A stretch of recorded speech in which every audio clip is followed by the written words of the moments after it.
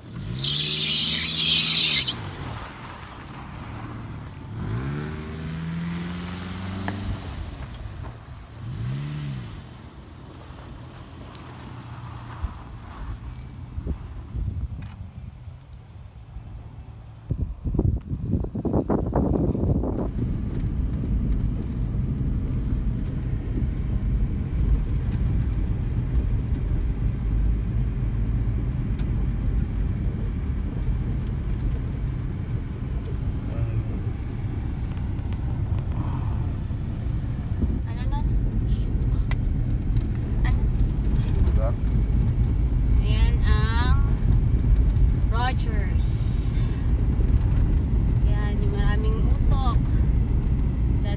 Rogers.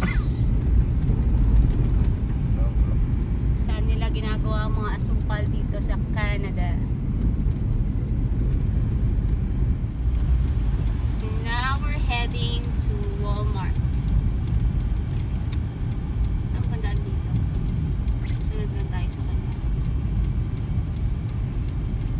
Diyos ka, kaliwa ka dito. Saan? Sa truck.